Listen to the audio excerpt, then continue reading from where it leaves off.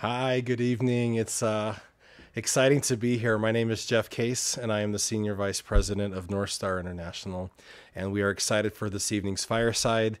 We would like to welcome all those who are following along at home, uh, across the US, across the world. We know that we have friends and family that extend across Europe, across Asia, even down into Australia and New Zealand. So, uh, welcome to everyone who could attend this evening. Um, I, before we get started, I just want to kind of uh, uh, hope that uh, this, that the Spirit is with you tonight as we um, have this pro- uh, production. Uh, we have a wonderful program for you, so please stay tuned. We're going to start by having an opening prayer um, by our lovely Victoria Adam, after which we'll have a musical number, a song called "Oh Love." Um, that will be presented, and uh, this will be sung by Kevin Wright, Seth Williams, Sarah Langford, and Cynthia Miller. following that, we'll have a a short video about the Voices of Hope project, and uh, we will uh, go to that point. Thank you.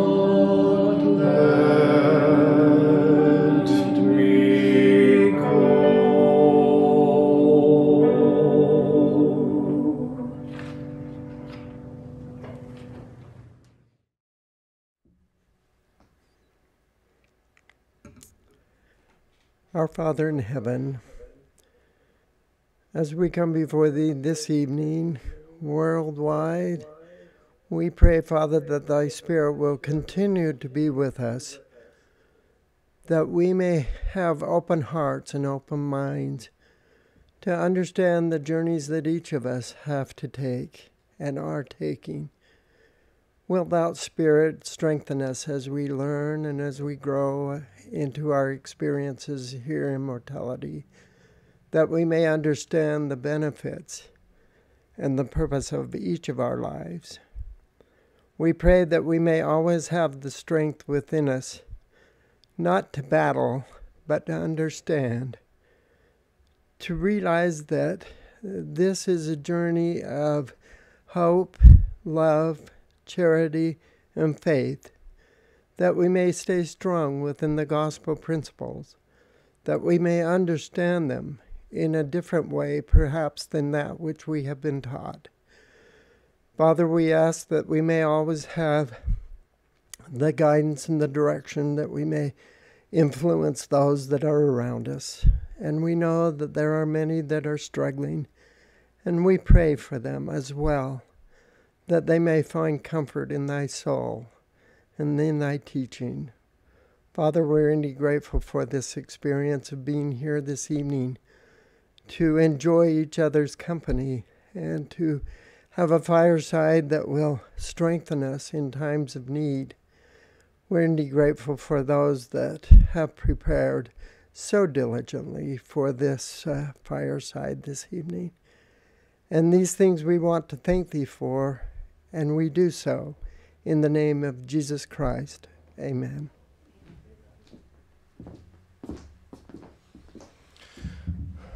Thank you, Victoria. That was just wonderful.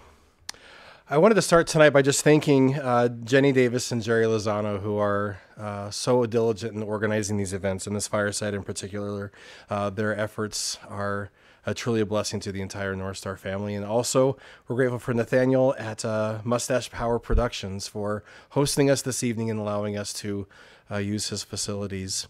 a couple announcements. I want to talk really fast about the up upcoming North Star conference. This is the highlight of my year, and I'm grateful that we are able to put together a great conference. Uh, the annual conference will be from June 10th through the 13th. And for the first time ever, we will have a conference that will be available both in person and virtually. We will be following the CDC guidelines at that time of the conference, and we hope that this will open up the doors to more people to attend and also to bring in people from around the world. Um, we will have uh, anyone who attends virtually will have the option to attend any of the breakout sessions and all the keynote speakers. Uh, the opening social will be on June 10th on that Thursday evening at 6:30 p.m. for anyone who is here uh, in time, and, and, especially the first timers. If this is your first conference, we invite you to come at 6:30. Um, the main conference with keynotes and the breakouts will be June 11 and 12 at the uh, Salt Lake City Sheraton Hotel if you were here last year, uh, it's in the same place. Um, and then we have a testimony meeting on Sunday, June 13th from 9 until 11 o'clock, also at the Sheraton.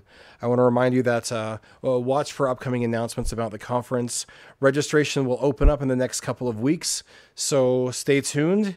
Uh, sign up for our email distribution, uh, go online, uh, social media. Uh, we'll have all the information available to you. Um, the order of uh, the fireside tonight, we're going to have a brief video presentation discussing uh, the Voices of Hope project, uh, followed by uh, a pre recorded message from uh, Melissa uh, Inouye, and she will be speaking on biodiversity in Zion. Um, as a way of introduction, if you're not familiar with her work, uh, Melissa Inouye is a senior lecturer in Asian Studies at the University of Auckland and a historian at the Church History Department of the Church of Jesus Christ of Latter day Saints.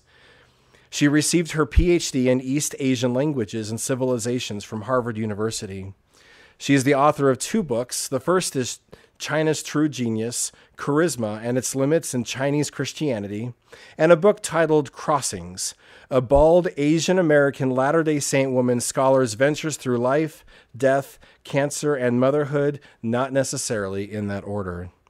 She and her husband Joseph have four children botanically named bean, sprout, leaf, and shoot. I I'd love that so much.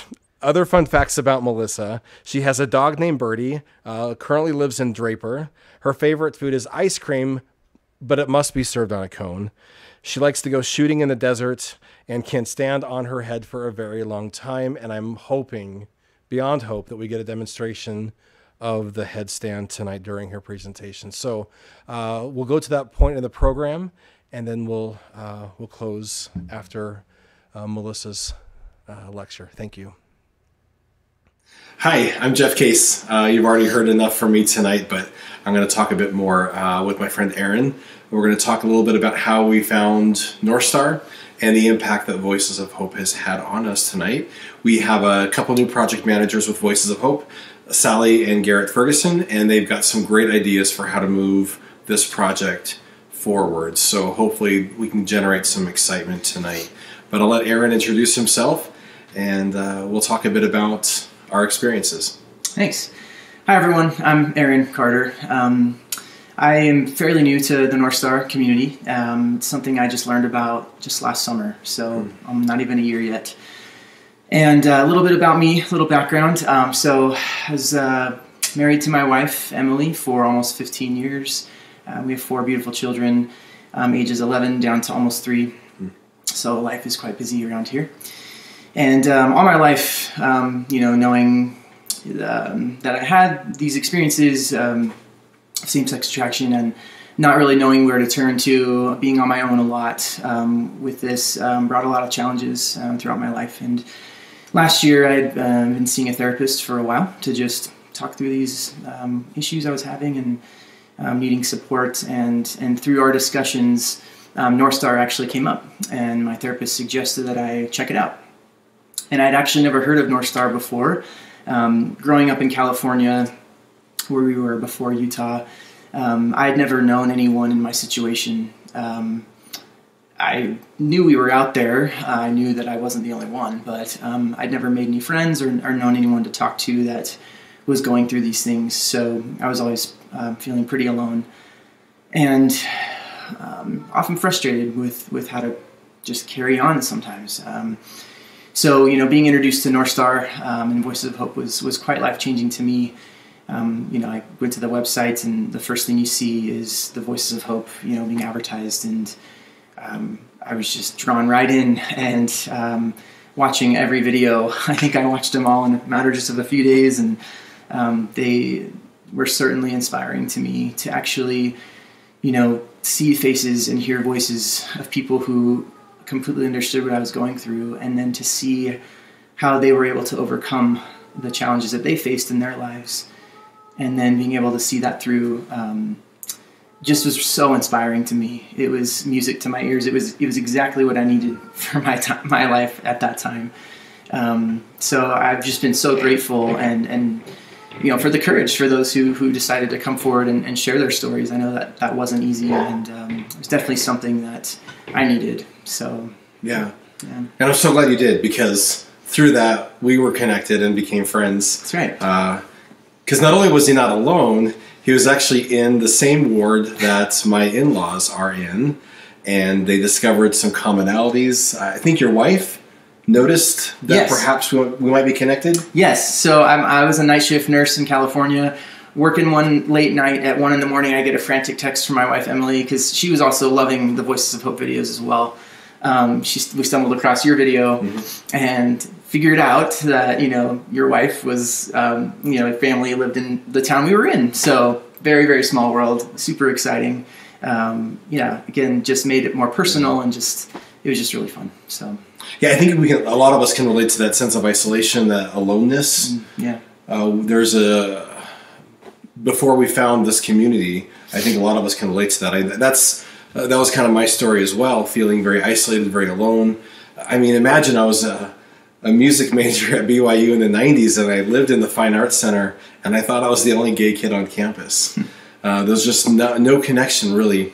Um, but through my therapist that I was working with at the time, and yes, the common theme here is go to therapy. Um, my therapist also suggested that I go to a support group.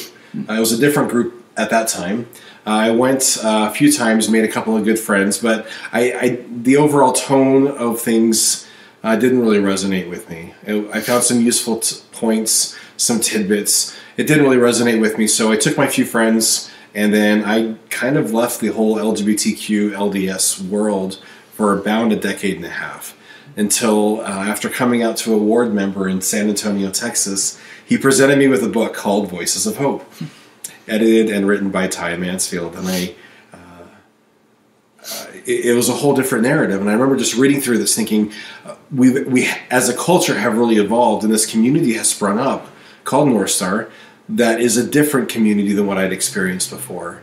And I remember just sitting in a fast food restaurant in my army uniform I was warned by this friend, by the way, don't read this in public, but here I was reading it in public anyway, and just like tears streaming down my face uncontrollably. Uh, I looked like a hot mess, but that's okay. What I was feeling was the spirit, and what I was feeling was connection and people with whom I jived, right? So we're, we're all kind of like going through life on like a music wave, right? We're kind of uh, our own frequency, yeah. tone, timbre, right? And and when we find people that kind of jive with us, it amplifies mm. the sound, it amplifies the music, uh, and and I think that's kind of what Voice of Hope did for me. That that initial book, and then of course the website, and uh, it has changed my life in many ways. Yeah, um, absolutely, me too. And yeah, music to my ears, just what I needed, and so inspiring to to stay on this covenant path. You know, to see those those testimonies being born in the videos um, certainly inspired my own testimony and um, you know definitely gave me the, the, strength to keep keep pressing forward. So yeah, yeah wonderful.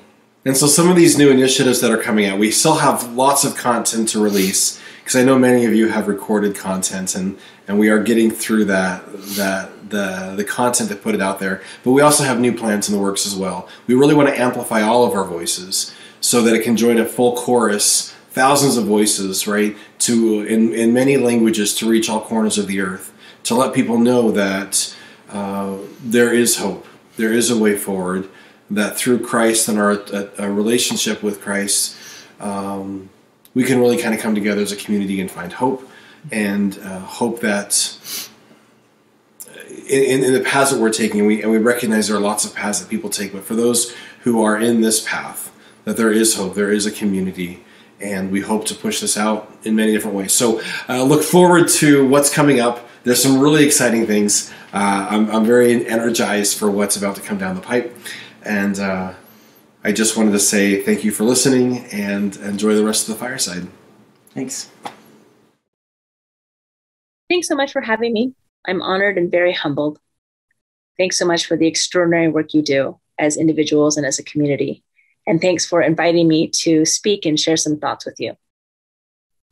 Spring has come, and I've been spending a lot of time in the small wetland park across the street from my house. There's two ponds, one big, one small. The big pond is the home of the Canada geese. We hear them honking as they come in for a landing, coordinating their descent. The little pond has a lot of ducks, mostly mallards. In the spring, they nest in the bushes, and vigilant mothers shepherd little squads of ducklings into the water. Sometimes big white pelicans come, and sometimes there are herons. Recently, my kids and I have learned that the wetland's beauty is under threat. It's hard to keep everything in balance. The banks of the little pond are eroded because of the large population of ducks. These ducks have eaten all the vegetation that normally would grow on the banks and hold the soil in place. The upland areas are quickly becoming overrun with Russian olives, an invasive tree that grows so quickly it crowds out the other trees. Russian olives are so hardy, even when you cut them down at the base, they just sprout suckers and come back. The pond once had another catchment basin, a third pond, but this basin has been completely filled in by the most pernicious weed of all, Phragmites. They look nice and fluffy with golden heads of seeds blowing in the wind. But like Russian olives, Phragmites are invasive. They spread through seeds blown through the air and through roots that spread out horizontally below ground. They grow fast and they take over until there's no longer any room for other native plants usually found in wetland areas like bulrushes, sedges, willows, and cattails. Utah Lake is currently overrun with Phragmites. Just in the past 20 years, this infestation has come in. And not only have the Phragmites crowded out the other plants, but they've also literally changed the levels of water that are available in the lake. Uh, they've eliminated habitat critical to certain species, such as the June sucker. Currently, there's a huge restoration plan underway to remove the Phragmites and help native species reestablish. This will restore the network of interactions between plants, water, fish, and insects to a healthy level of complexity. Biodiversity, scientists tell us, is not simply a matter of nature being quirky and creating a lot of weird stuff.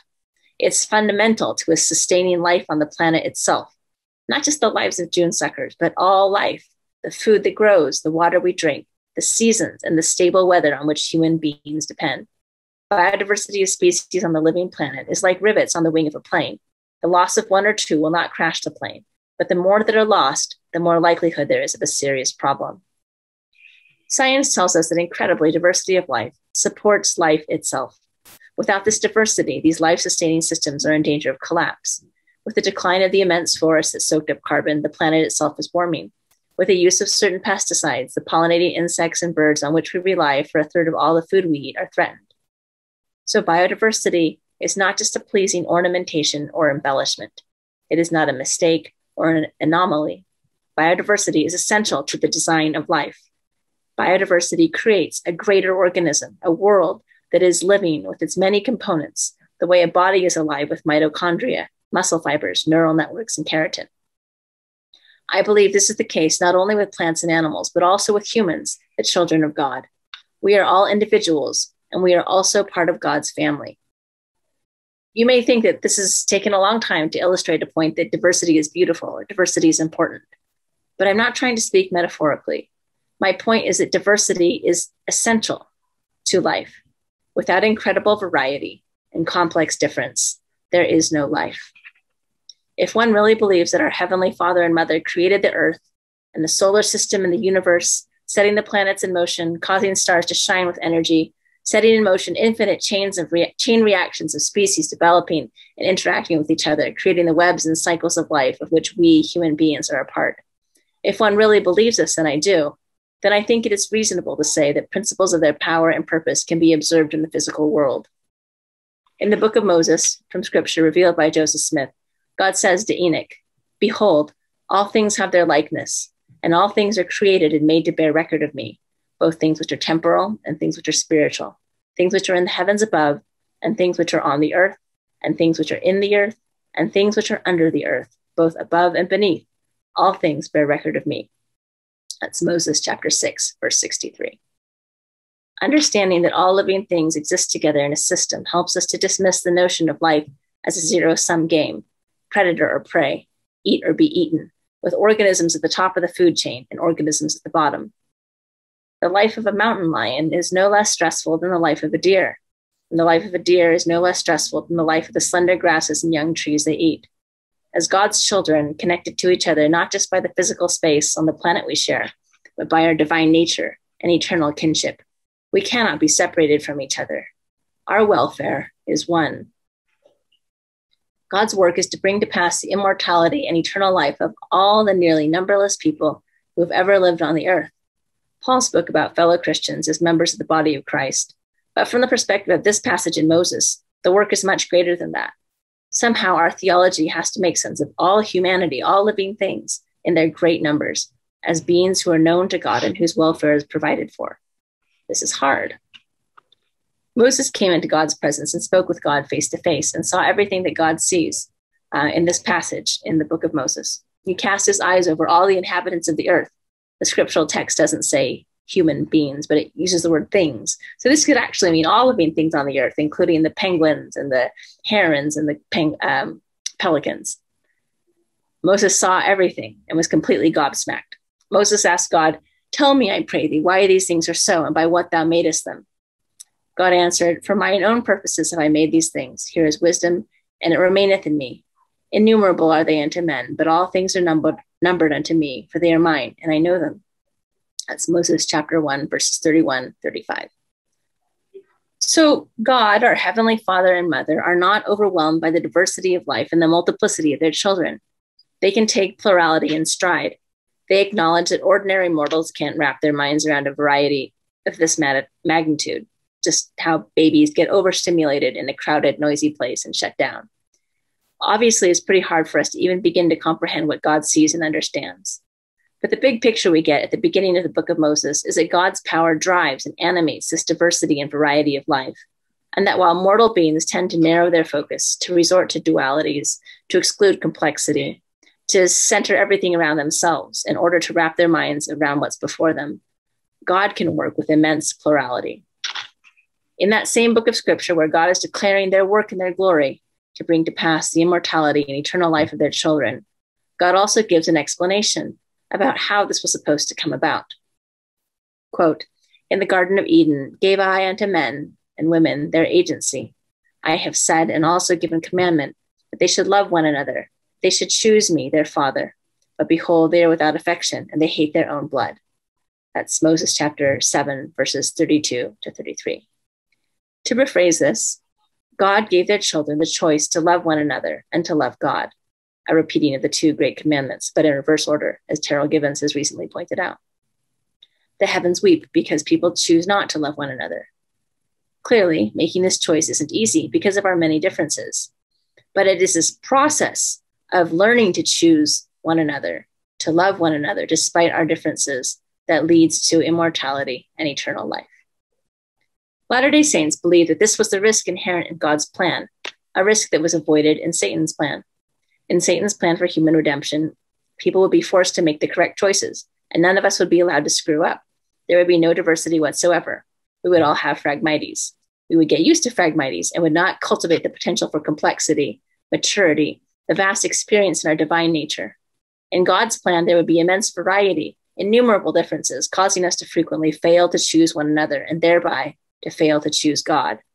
But because of the difficulty of the task, when we did figure out how to bridge our differences and understand from multiple perspectives, we would have come closer to seeing as God sees. This is why I believe when God created the natural world, they made sure to create it with such biodiversity. And when God created humankind, they made sure to create us with such human diversity in our physical characteristics, linguistic expression, national circumstances, sexual orientation, family culture, religious traditions, and so on. To be sure, these differences can be confounding and a regular source of conflict and pain. But God did not intend for us to learn to follow them in a world of only phragmites.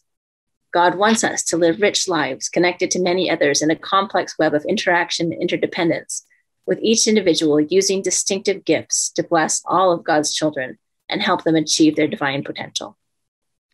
In the remainder of the time that follows, I'll give six examples of gifts that we, the children of God, can offer each other as we draw on our divine differences. One, acceptance. Two, surprise. Three, accountability. Four, something worse. Five, something concrete. Six, burdens. I'm speaking to a diverse audience, and I want to make it clear that I'm not prescribing gifts or actions for everyone. I'm just sharing the things that have come to my mind, thinking of the gifts that people have given me that grow out of the wide spaces between us and reflecting on how I can give these same gifts to others. First, acceptance.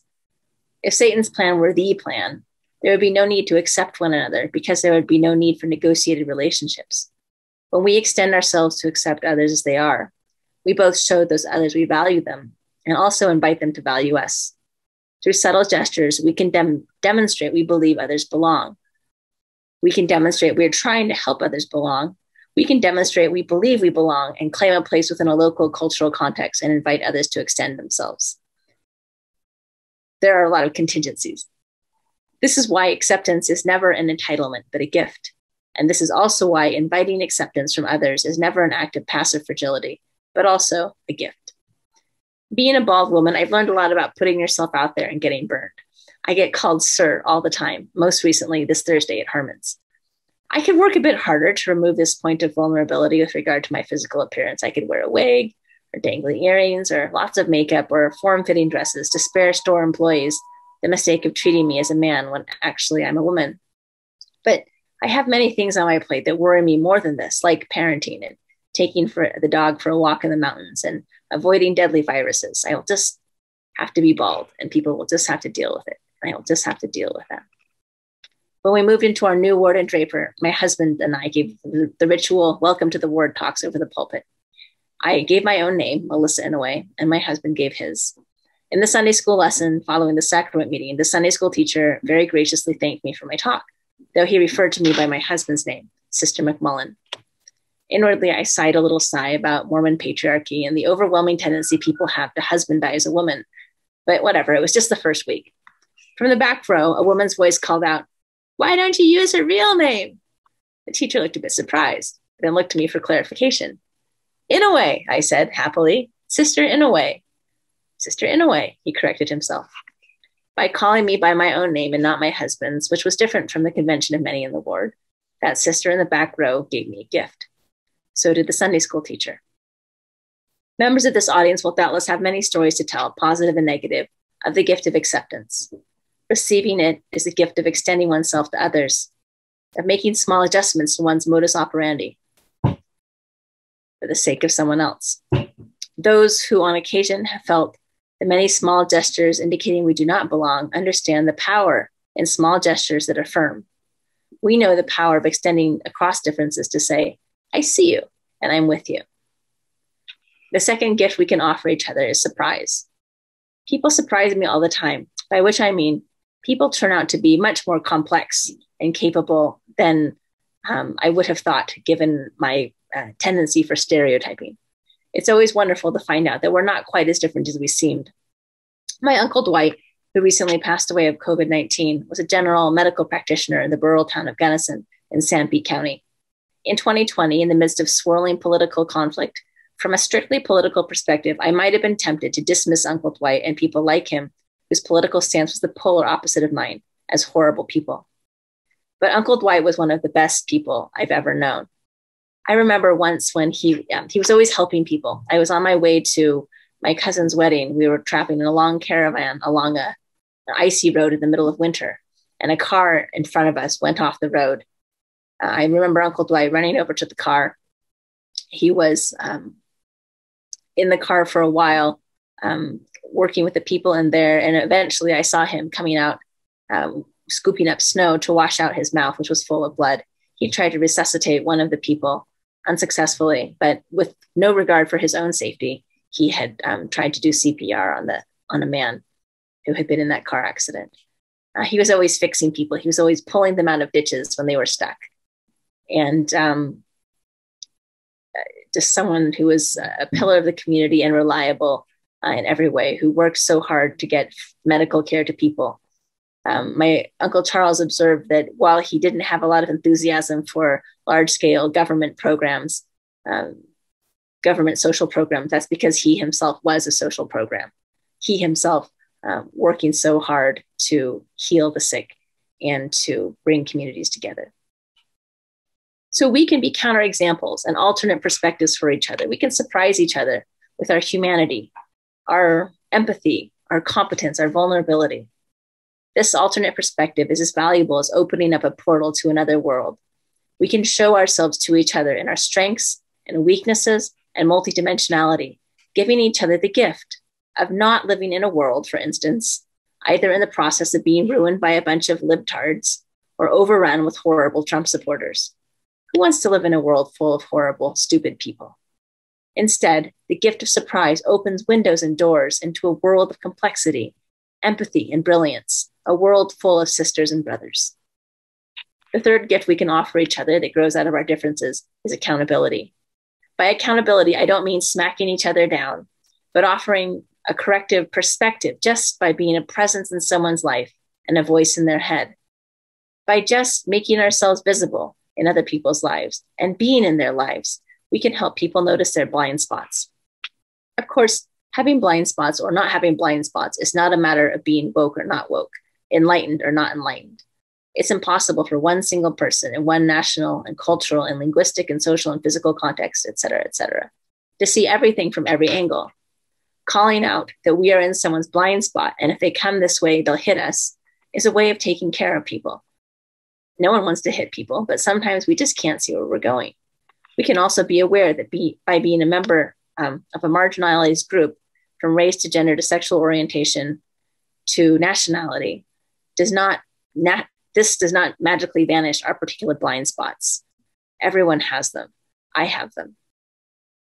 Accountability, corrective perspective, being a presence and a voice in someone's life helps others measure their thoughts and experiences against some external guideposts. Just like a backup camera or a mirror, accountability provides angles that reflect more of the terrain of life to someone trying to navigate it. In 2009 and 2011, I worked with the Foundation for Religious Diplomacy and the City of Los Angeles Human Relations Commission to hold interreligious dialogues in the wake of the controversial Proposition 8 campaign in California, the um, ballot measure about same sex marriage. We brought together several local religious leaders for dialogue on this issue. The meeting followed dialogue conventions developed by Randall Paul, founder of the Foundation for Religious Diplomacy. One of the tenets of good interreligious dialogue, according to Randall Paul, is that the interlocutors should be able to accurately repeat their partner's argument and to make this argument just as effectively as their partner can. When you can make the other person's argument for them, he says, that's when you know you're treating their ideas fairly. Accurately understanding and summarizing another person's concerns, even when they stand in opposition to your own, installs a little voice in your head. After that, wherever you go, you are able to hear their voice. It shapes what you say, what you post on social media, how you frame a discussion. Just by being in other people's lives and being who we are, we can come become a voice in their heads. In this way, they become accountable to us and we become accountable to them. My best, most effective writing happens when I reach out to people who are most likely to dislike it and ask for their direct and unrestrained feedback. This can be a painful process, but when I have more voices in my head, I'm able to get past the limits of my own experiences and assumptions and communicate more persuasively. How can we hope to get others to listen to our views if they feel that we do not see them or respect their agency and experience? The fourth gift we can offer each other is something worse. Please don't misunderstand. I'm not saying uh, we should look at other people's misfortunes and say, ha ha ha, they're so pathetic. I'm so glad I'm not them. That's not what I'm saying. But it's just that I found a larger perspective of how difficult and terrible life can be is sometimes just what we need to do something hard. For example, uh, around the time, like uh, the same week, I think that I was first diagnosed with cancer, a family member of mine began to go through a tough divorce. And um, over the course of my cancer and uh, the family member's divorce, we would kind of check in with each other. Still have cancer? Yeah. Still getting divorced? Yeah and um, and commiserate. Uh, but it was more than commiseration. It was also commiseration. It was also perspective. And just by seeing how hard and terrible life can be, it doesn't feel one doesn't feel quite as put upon uh, or or lonely when one is dealing with their own terrible things. Maybe I can offer you uh, something worse. I have been disemboweled and eviscerated. I have been poisoned more times than I can count. I've been filled up with a, well, I, I guess I filled myself up. My cells have filled myself up with a yellow looking fluid um, that is this massive fluid that totally filled my abdominal cavity, leaked into my lungs, made it hard to breathe. I had to lie on a table while they punctured my abdomen, stuck a tube in to drain it. I've had my abdominal cavity filled with boiling hot poisonous chemo. I've had horrible gastrointestinal systems symptoms, which cannot be mentioned in public. I have a device installed on my chest that makes it easier to inject stuff into my veins. I've had various tubes passed into various orifices. I've been given very many grim diagnoses. I will get really excited when I live to see my credit card expire. By all means, if it makes you feel a bit better that none of these things have happened to you, if they haven't, feel better. Life is hard enough with all with our own problems. Thank goodness we don't have to all have each other's problems. Seeing other people doing hard things helps us realize how unreasonable it is to expect to get through life unscathed, to always be admired and popular, to always be hale and hearty, to feel secure. The truth is, no matter what your belief system, life can be really hard. Latter day Saints believe that our sufferings are consecrated for our good, that they teach us lessons and develop our capacity for godliness. Seeing that everyone has to go about this in different ways makes us humble about our own comfort and hopeful about our own difficulties. The fifth gift is something material, but which by which I mostly mean money and stuff bought with money. This seems pretty crass, especially to these other things like acceptance, surprise, accountability, and something worse. But money is a medium of exchange, a currency mediating value, time, support, and so on. Within the Church of Jesus Christ of Latter day Saints, I have particularly seen how we give each other actual gifts, um, including actual money or currency or value. I thought a lot about this when I visited my father and mother in law when they served as Latter day Saint mission presidents in the Democratic Republic of the Congo. The chapels and buildings and the missionary support stipends, uh, the medical care, and the humanitarian services I observed, I saw a massive redistribution of wealth from some areas of the global church to others.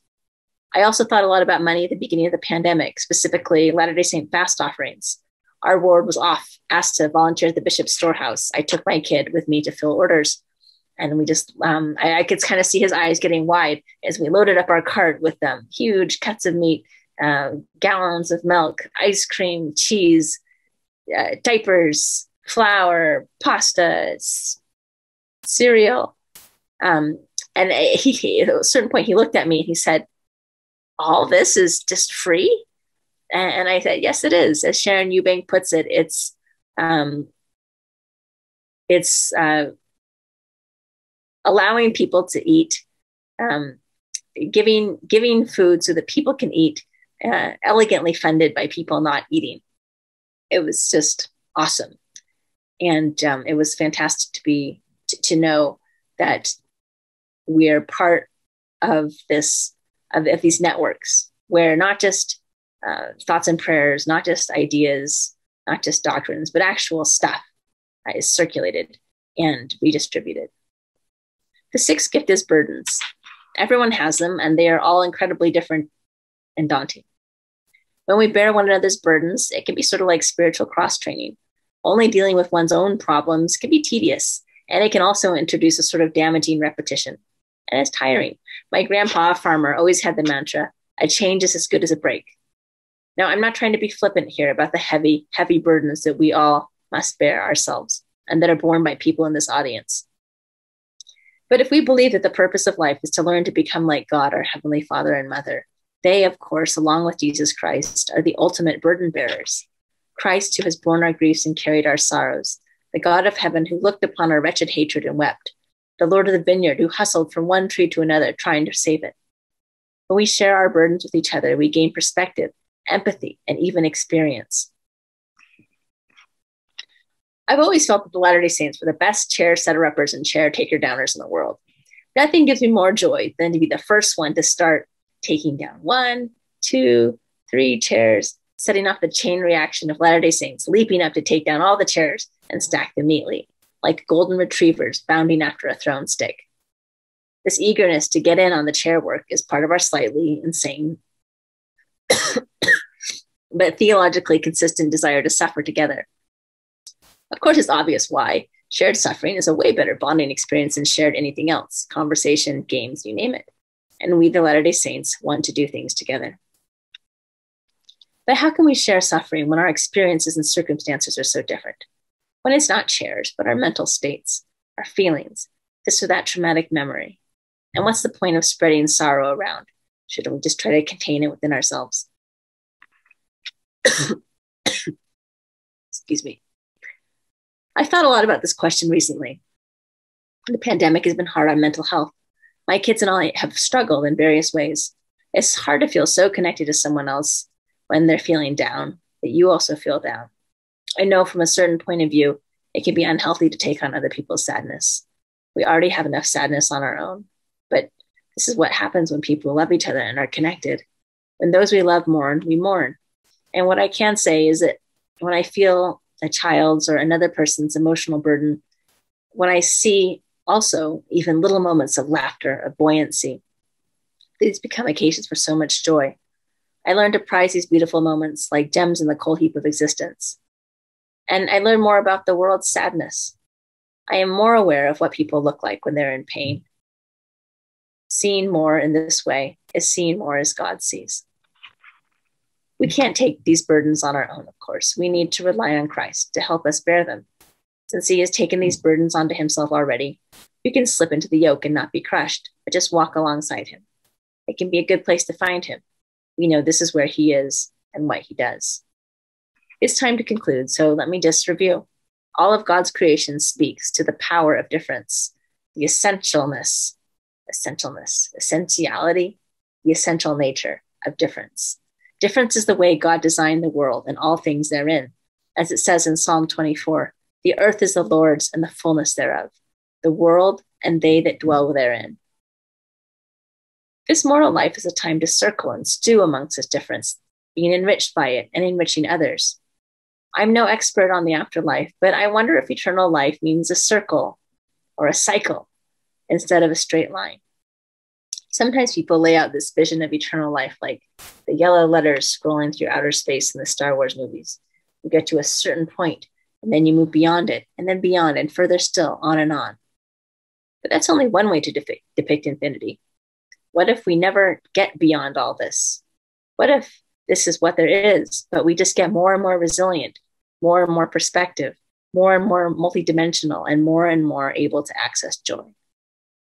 If there's anything we learn about in the natural world, it's about constant change, but also a constant cycling, returning, reintegrating, eternal renewal. Who's to say that the differences that shape our perspectives and create our gifts never converge into one single homogenous state of becoming like God in the sense of everyone becoming the same type of being? Suppose instead, the more we understand of each other, the more we are connected, the more our personalities and patterns of living are shaped by others, the more distinctive and unique we become. Is this what God means by one eternal round? Sometimes the gaps between us are dark, frightening chasms. Sometimes the thought of what if this now is what there always is is absolutely devastating. I know this fear well, and I know you do too. We're all in different situations, so I can't prescribe anything for anyone, but I can share my own experience from where I stand. So often in the past few years of dealing with a deadly malady, I have been at the very edge of not only my endurance, but of existence itself. At these times, hmm. God has brought me back from the brink. There was a time, for instance, when the doctor said, Sorry, you're inoperable. There's cancer in your small intestine, and you are on chemo for life. I said, Can't you just remove part of the small intestine? They said, No, sorry, too much of it is affected, and small intestines are important. I pleaded with God to give me more time. I received many blessings from my family and friends. And one day, I got a scan, and the cancer in the small intestine was gone. I could be operated on now. I could receive other treatments. I was still cancerous, but I wasn't a completely lost cause. It was miraculous. But to be honest, at the time, I was a bit impressed. Uh, sorry, a bit unimpressed. And I know it's ungrateful to say, but I'm just being honest. I said to God, This is ridiculous. Why have you fixed me a little bit? Why don't you heal me all the way? Why don't you take this burden from me, the whole thing, once and for all? just to clarify, I don't think God gave me cancer to teach me lessons. I don't think God gives anyone cancer. I don't think God gives anyone um, suffering. I think the world is designed in a certain way. These things just happen. Heavenly Father and Heavenly Mother designed the world as a place of learning, which includes learning through joy and also learning through pain. But the huge difference that cancer has introduced into my life separating me from the realms of the healthy, from the people who make long term plans, from the fearless, has not been without value. From having to deal with this for such a long time, I have seen more. I felt more. I've been more. I've been terrified, despairing, suffering. Yes, but more. I would never ever choose the paths I've taken. But having taken them, I think I can understand just a little more the mind of God and the heart of Christ. I do believe that this is the purpose of life to see as God sees, to love as Christ loves. They love us doggedly, particularly in our various states. Acceptance, surprise, accountability, something worse, something concrete, and burdens are just some of the many gifts shaped our, and motivated by our difference. These gifts are necessitated by the large empty spaces between us and able to transform and enlarge us into the measure of God, our heavenly parents. Our differences create a world of human interactions that is rich, fertile, and spiritually sustainable. Like the beauty of a world with geese, ducks, herons, and pelicans, and like the hazards of a world with mountain lions and deer, the beauty and hazards of human difference are life sustaining. Eternal uniformity sounds like a prison sentence, a straight line into nowhere. But with a design of difference, the collective life of a society of eternal intelligences is dynamic ever evolving and complex. May we learn to cherish our differences and give each other rich gifts of perspective and experience and grace. As we crisscross the spaces and gaps between us, we will grow more fully into the measure of our divine nature and linger in the places where the Savior dwells. This is my prayer in the name of Jesus Christ. Amen.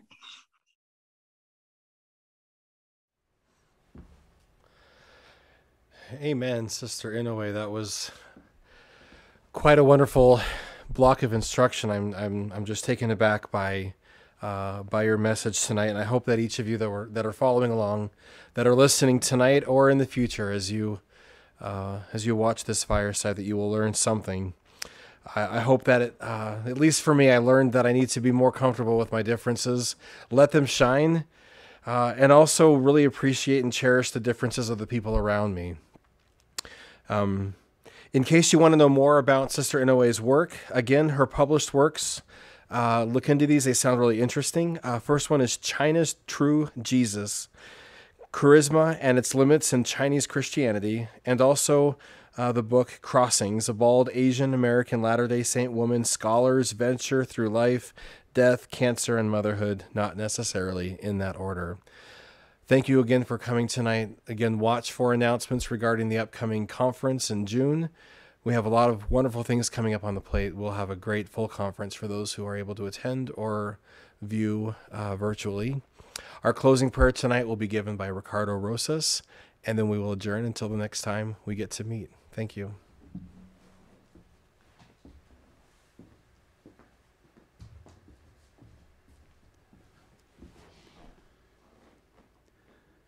Our Father in heaven, we thank Thee for the many blessings we have and the opportunity to be reminded and to learn new things and how to see the world and diversity from Melissa. We thank Thee for having knowledge and understanding and for having the Spirit as we walk through our journey. We ask the Heavenly Father, to bless us to always feel Thy love and as we feel thy love, um, to be able to feel and be guided on how we're going to walk through our lives, how we're going to relate to each other, what gift are we given to us and to others around us.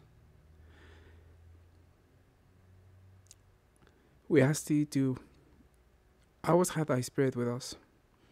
And in the times that things are hard, that we can remember how special we are and how mindful thou art of us. We ask you to bless all of us in our community and also the people that we are in touch with. Bless us with the ability to be a light to others. Bless us to be able to, when we're guided by the Spirit, to share our stories with others. And help us to always have thy love and protection. And bless our families wherever they are. And we say these in the name of thy Son, Jesus Christ. Amen.